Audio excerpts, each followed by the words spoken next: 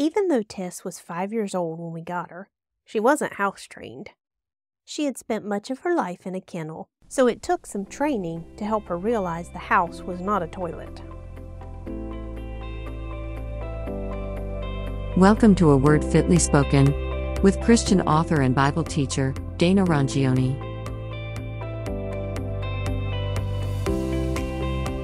All in all, she's done well, and to make things easier, we installed a doggy door so she could let herself out when she needed to go.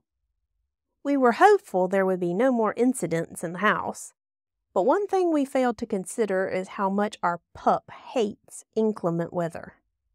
If she needs to go when the sun is shining and the winds are calm, she'll gladly let herself out. The same cannot be said, however, when it's nasty outside, which it often is this time of year in Wales. This morning, when we first got up, Jason tried to make things easier for her by opening the kitchen door to let her out. She took one look at the rain and ran off into the furthest part of the house. He tried again, and she went outside, waited for Jason to close the door, then turned right around and came back in the doggy door. Since I'm home with her most of the time, I've become well acquainted with this behavior and know the only way to get her to do her business is to go outside in the weather with her. So I grabbed my jacket off the hook, and together we ventured into the weather. Within a minute, she had relieved her bladder and hurried back to the door. Thankfully, I've learned to relieve my bladder before going out and standing in the rain waiting for her to take care of business. I don't know why it is she'll go out if I'll go with her, but it works every time. I guess she's a bit like Moses. Stay with me, I haven't completely lost my marbles. Look at this passage of Scripture and see if you can't spot the similarity between this man of God and my reluctant terrier.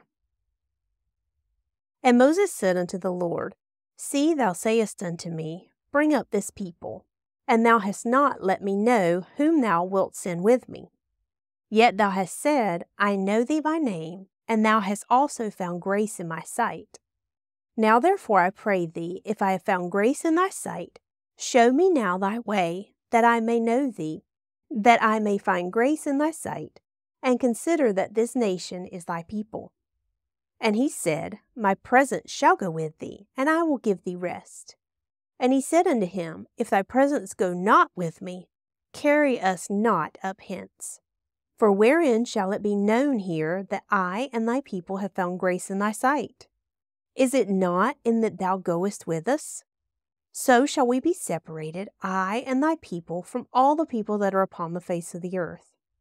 And the Lord said unto Moses, I will do this thing also that thou hast spoken, for thou hast found grace in my sight, and I know thee by name. Exodus 33 12 through 17. Did you see it? After hearing God's directions, Moses declared, If you're not going with me, I don't want to go. Moses knew the thing that separated Israel from every other nation was the ever present God who ruled and cared for them. Without God present in their midst, Moses feared they would fail. He didn't want to go it alone. He knew he didn't have what it took to complete such a task. So he put it plainly either we do this together or I don't do it. I can't say Tess's motives are quite so spiritual but maybe they do have a spiritual bent to them. Perhaps she's willing to venture into the storm because she knows I'm there to protect her. It's one thing to face the storm alone, but quite another to face it with the Master nearby. Maybe, too, it helps her to know that her Master is not asking her to do something she's not willing to do herself.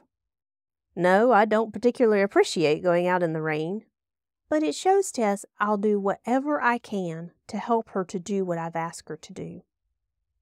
Isn't that just like our Master? He never expects us to face the storm alone, and He never asks us to do anything without His help. He is continually present with us, making it easier for us to be strong and courageous as we face the hardships of this life. Rain or shine, He is near. In the good times and the bad, He's with us. What a comfort it is to know we never have to walk alone. I think Tess and Moses might have the right idea. May my daily prayer be, I'll go, Lord, but only if you go with me, for without you, I can do nothing. You've been listening to A Word Fitly Spoken with Christian author and speaker, Dana Rongione. Dana is the author of over 20 books, inspiring and encouraging the old and young alike to find joy in serving Jesus. To find out more about Dana's ministry and to sign up for her devotional blog, visit danarongione.com.